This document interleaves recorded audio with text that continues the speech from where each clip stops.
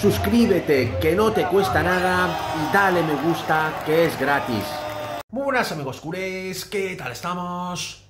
Voy a empezar este vídeo con la entrevista que ha dado hoy el vicepresidente económico del Barça a un medio culé repasando la actualidad del Barcelona. Habrá fichajes en enero. Vamos a por ello. Pues bien, esto fue lo más destacado de la entrevista que dio Eduardo Romeu a un medio culé. ¿Qué pasó con la venta de Barça Studios? El vicepresidente económico del Barça explica todo lo sucedido en la operación de venta de Barça Studios. Dice que los 40 millones que faltan deben llegar antes que acabe el año y que pueden ayudar en otras cosas. Una de las palancas que más confusión ha provocado ha sido la venta del 49% de Barça Studios, porque no llegó el dinero de Orfeus y socios.com y tampoco el que debía abonar después Libero. Eduard Romeu lo explica todo y espera que los 40 millones de euros que faltan lleguen en este invierno. Admite que ayudarán en la parcela deportiva, destacando el esfuerzo que se ha hecho para reducir la masa salarial y las mochilas que se han eliminado. Una de las palancas que utilizaron fue la venta de Barça Studios, que pasó con Orfeus y socios.com y posteriormente con Libero. Eva Romeo contestó, ya se acordó con ellos que había otros inversores interesados. Si estudiaría, cada uno de ellos se quedó con el 22,5% que pagaron cada uno 10 millones de euros y se comprometieron a pagar 30 cada uno en los tres próximos años. Otros inversores que suelen entrar en la operación, NIPA y Libero. NIPA aportó 20 millones de euros y asumió parte de lo que tenía pendiente Orfeus. Libero debería aportar 40 millones de euros también. Se pactó que los pagaría el último trimestre del año. En agosto intentamos matar dos pájaros de un tiro. Anticipar este cobro y dar cumplimiento a la operación y poder escribir jugadores. Nos pidieron una serie de requisitos adicionales con los que no nos sentimos cómodos. Así que para escribir jugadores, la Junta decidió presentar un aval y ahora seguimos negociando con Libero teniendo nosotros el poder negociador con ellos y con otros grupos. O sea, fijaos en la gestión de la junta directiva de nuestro gran presis a la porta. Si fuera Bartomeu, todo sería al revés. O sea, esta empresa tendría eh, el poder negociador y el Barça, pues, en plan sumiso total. ¿Qué ha pasado con la salida de bolsa de Barça Vision?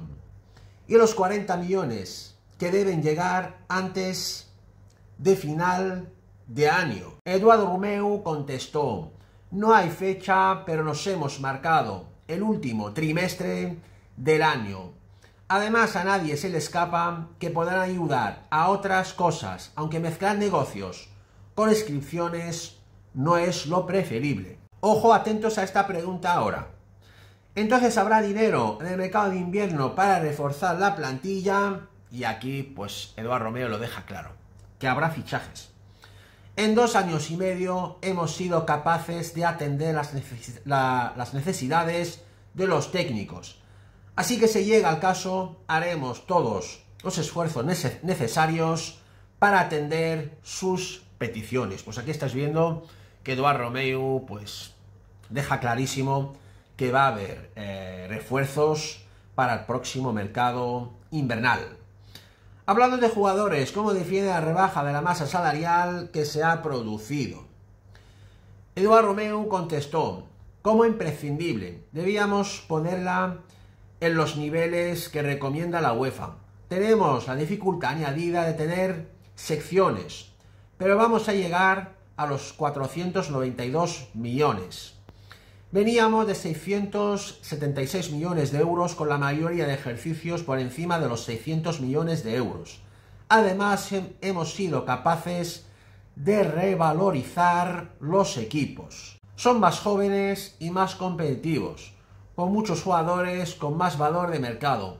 Además, lo hemos hecho cumpliendo los contratos, sin poner la mano en el bolsillo de los jugadores y respetando el más que un club, no aceptando contratos de patrocinio de mucho dinero, pero con unos valores que no van alineados con el Barça. Aquí mete una en directa, una zasca tremenda a la caverna y al Real Madrid. Así como se tiene que gestionar un club y así como se debe negociar con los patrocinadores. El control lo tiene que tener Barcelona, como está haciendo la directiva de la Porta. No como en la época de Bartomeu, que ha arruinado el club. Que en vez de que el Barça tuviera el control, lo tenían los patrocinadores. Y la directiva incompetente de Bartomeu solamente acataba las órdenes de los patrocinadores, arruinando al club y dejándolo en la miseria. Estamos en buenas manos, amigos culés. No os dejéis manipular. Estamos con la puerta en el buen camino. Y ahora vamos con el temazo principal. Sabemos que el Barcelona no está jugando bien y Xavi es incapaz de dar con la tecla para que el equipo empiece a funcionar bien. Y uno de los motivos es sin duda el pivote. Oriol Romeu no tiene nivel eh, de un equipo top. Ojo, no hay que echarle la culpa a Oriol, sino todo lo contrario, hay que agradecer el esfuerzo que ha hecho para venir al Barcelona. Un jugador que ha costado solo 5 millones de euros, nunca y jamás tenemos que echarle la culpa. Pero está claro que Oriol no tiene el nivel de un pivote top a nivel mundial. Y sabemos que es totalmente imposible ganar la Champions sin tener un pivote de alto nivel. Y si no, fijaos lo está pasando los últimos partidos del Manchester City. Con la sanción de Rodri, el City no es capaz de ganar ni un solo partido. Pues bien, sabemos que el gran objetivo es el volante alemán Kimmich. El Barça va a ir a por todas, a ficharlo en invierno, pero si el Bayern pone pegas y el club no puede traer a Kimmich en el próximo mercado invernal, el fin de enero, ya tiene activado el plan B. Y es nada más y nada menos que el extraordinario volante internacional español, ex culé, campeón de la Champions League con el Bayern Múnich y actualmente jugador del Liverpool, Thiago Alcántara. Thiago Alcántara no está a gusto en el Liverpool, finaliza contrato de verano 2024 y va a ser una auténtica ganga para el próximo mercado invernal. El Barça ficharía a Thiago Alcántara el próximo mes de enero por una cifra bastante baja y así poder competir en la Champions League y ya en verano cerraría el fichaje del volante alemán Joshua Kimmich. Me parece una jugada brutal y maestra de la dirección deportiva del Barcelona. Esta ha sido mi grandísima noticia de hoy, amigos culés. No os olvidéis suscribirse a mi canal, que no os cuesta nada. Pulsar un like como siempre y dejarme comentarios para cambiar opiniones. Muchas gracias. Forza Barça por siempre. Vamos a por todas. Y nos vemos muy pronto en mi próximo vídeo. ¡Vamos!